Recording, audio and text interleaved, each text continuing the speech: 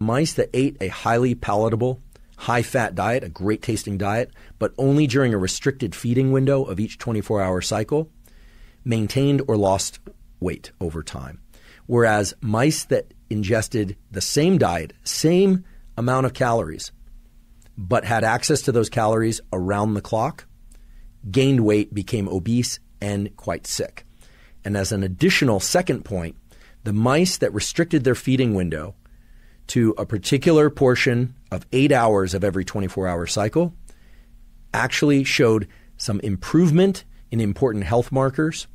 And what was even more incredible is that mice that only ate during a particular feeding window also experienced some reversal of some prior negative health effects.